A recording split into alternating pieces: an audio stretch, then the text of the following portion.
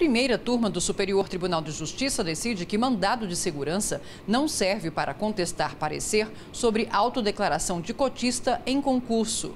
O colegiado entendeu que é inadequado o uso do mandado de segurança para a defesa de candidato que pretende continuar concorrendo em concurso público na cota reservada para pessoas pretas ou pardas, quando a comissão examinadora de heteroidentificação não confirmou a sua autodeclaração racial.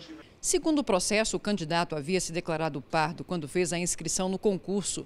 No entanto, os membros da comissão de heteroidentificação, designada para avaliar a condição do candidato, invalidaram a autodeclaração dele como afrodescendente, mesmo após a apreciação de recurso administrativo instruído com fotografias e laudos emitidos por médicos dermatologistas. No recurso apresentado ao STJ, o candidato alegou falta de clareza nos critérios da comissão e que a decisão administrativa não foi adequadamente fundamentada.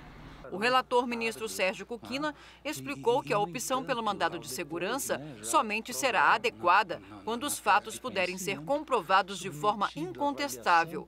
E no caso em julgamento, os elementos apresentados pelo candidato não são capazes de invalidar à primeira vista a conclusão da comissão que não reconheceu como pardo. E no trâmite do mandado de segurança, não há espaço para a produção de provas. Ao decidir pela extinção do mandado de segurança, segurança, sem resolução de mérito, o ministro ressaltou ainda que, se o candidato quiser, poderá ajuizar uma ação comum para defender seus interesses, como prevê a lei que disciplina o mandado de segurança individual e coletivo.